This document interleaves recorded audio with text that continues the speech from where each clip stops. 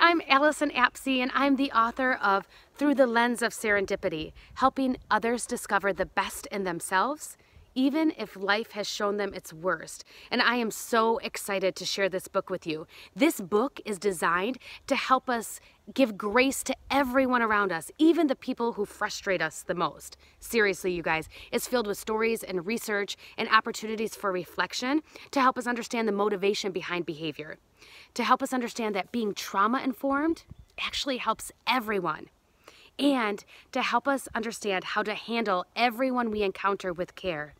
HANDLE is an acronym that stands for Hope is Everything, Assure Safety, No Shoulda Needed.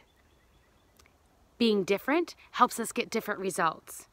Listen to understand and establish trust.